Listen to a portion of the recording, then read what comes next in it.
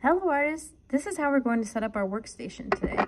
First thing you need to do is get yourself a smock. Remember when you open it up, you hold it by the straps and the smiley face should be looking right at you as you put your head through the hole. So put your head through the hole, reach down around and bring the straps to the front and velcro them and then come on over here and get yourself a big painting placemat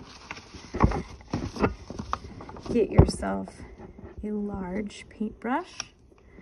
And then you are going to put your placemat on top of the papers that are at your space. Just like that. And you can put your paintbrush down like that.